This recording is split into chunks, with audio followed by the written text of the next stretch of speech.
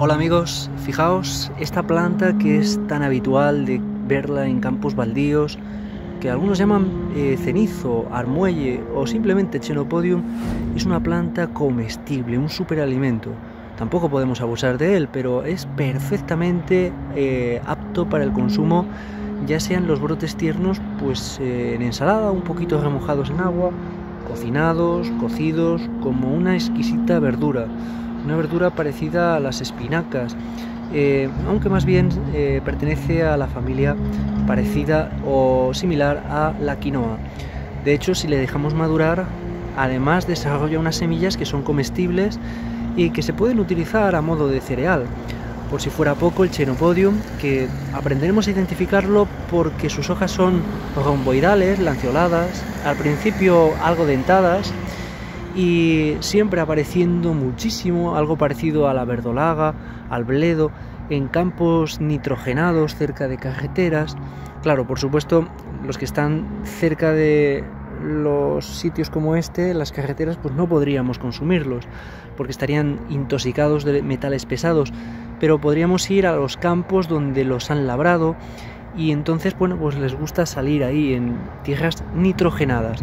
En cualquier caso es una planta que acumula muchos nutrientes tiene mucha vitamina C manganeso potasio una gran cantidad de sustancias que la hacen tremendamente nutritiva algo lasante hay que decirlo también y diurética es un poderoso diurético y antiespasmódico. Por lo demás pues el conocido como cenizo armuelle o Chenopodium, Chenopodium album, pues es una planta que en el pasado se cultivaba en Europa. Eh, está extendida por África, por Asia y bueno, hoy es una hierba sin importancia, supuestamente, ¿no? Pero bueno, pues deberíamos de conocerla porque en épocas de guerra se llegó a consumir en gran abundancia, una verdura exquisita y sobre todo nutritiva. Tiene incluso una cierta cantidad de proteínas. Y bueno, pues nada más que decir del Xenopodium album. Es una planta verdaderamente bonita. A veces alcanza alturas bastante grandes, no es lo habitual. Es muy suave, muy agradable. Pues como una verdura, como una espinaca, ¿no? No tiene eh, ningún tipo de pincho. Son tallos muy carnosos, muy agradables de comer al paladar. Eh, si no tanto como la verdolaga, pero es de un estilo. Y bueno, pues ya tenemos una planta silvestre más para esa despensa natural que siempre nos puede venir bien en tiempos de dificultad. La podemos sembrar, esas semillas, las cuales se pueden macerar, se pueden remojar, se pueden incluso con todas las partes de la planta hacer sales, sales eh, de las que se mezclan diversas plantas porque tiene tantos minerales que tiene un saborcito salado, ¿no?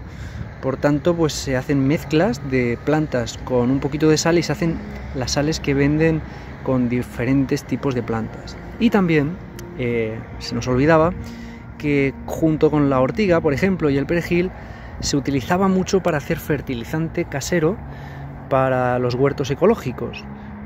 Como decimos, pues acumula una gran cantidad de nutrientes, nitrógeno, son plantas que les gustan y nos va a beneficiar mucho como abono para el huerto, pero un abono natural y de buena calidad. Bueno, pues ahora sí que no sabemos ya más que decir de esta planta, que algún día la profundizaremos más para hacer un vídeo más largo e incluso la probaremos, porque la verdad que nunca la hemos probado. Os diremos, os contaremos la experiencia y sobre todo os diremos de qué forma se podría preparar. Si alguien lo sabe, pues que lo deje en los comentarios y nos hará un gran favor para poder investigarlo. Mira, qué curioso porque aquí tenemos la hierba alacranera, la hierba del escorpión, que hemos visto hace un momentito en otro vídeo y que lo publicaremos pues, seguramente dentro de, unos minutos. Es la verrucaria Heliotropium europaeum. Pero bueno, el Chenopodium album, el cenizo, vaya nombre que tiene, o armuelle, pues es la planta del día. Os dejamos con ella amigos y hasta un siguiente vídeo.